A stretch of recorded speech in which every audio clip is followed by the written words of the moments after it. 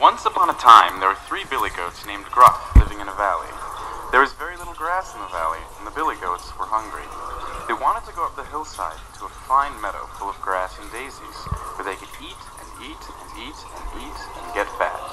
But on the way up there, there was a bridge over a rushing river. And under the bridge lived a troll who was as mean as he was ugly. So the billy goats made a plan. First, the youngest billy goat, Gruff, decided to cross the bridge. That tripping over my bridge? Oh, it's only I, the tiniest billy goat Gruff. No, you're not. Or I tell me to gobble you up. Oh, please don't take me. I'm too little that I am. Wait till the second billy goat Gruff comes. He's much bigger. Well, be off with you then.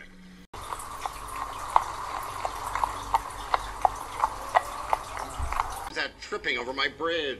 Oh, it's only I, the second Billy Goat Gruff, and I'm going up to the meadow to make myself fat. No, you're not. Or I'm coming to gobble you up. Oh, please don't take me. Wait till the third Billy Goat Gruff comes. He's much bigger. Well, be off with you then.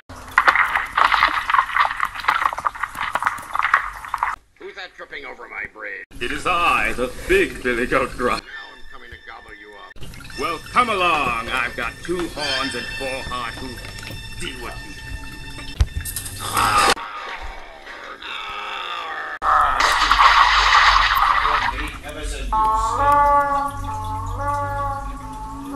meadow, the three billy goats, Gruff, got so fat that they could hardly walk home again. They're probably there yet. So snip, snap, snout, their tails pulled out.